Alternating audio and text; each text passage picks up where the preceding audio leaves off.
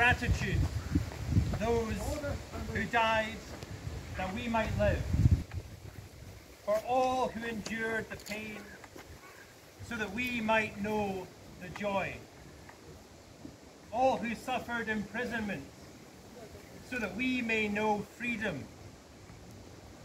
And especially this day we remember those who in the air and on the ground supported air bridge operations.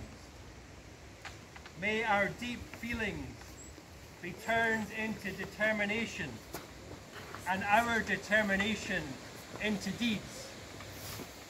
As men and women died for peace, so may we live and strive for peace.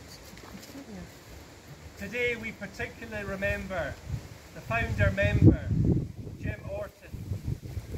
although not here in presence, is here in spirit.